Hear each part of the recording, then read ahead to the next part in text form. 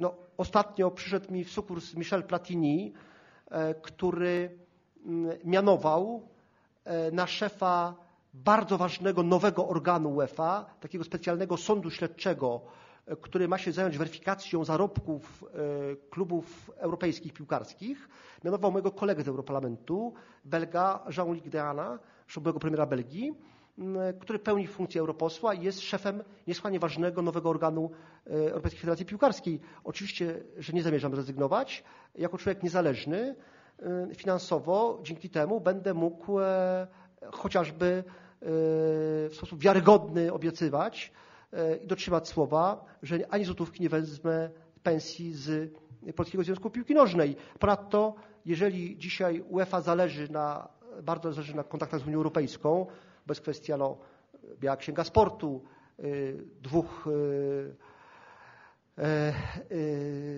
rezolucji piłkarskich o piłkarstwie zawodowym i o bezpieczeństwie na stadionach, które zostały podjęte przez Parlament Europejski. Z europosłem, prezesem PZPN-u będzie się Michel Platini bardziej liczyć mm, i władze UEFA niż z kimś, kto jest etatowym pracownikiem PZPN-u i sam sobie kasę wypłaca.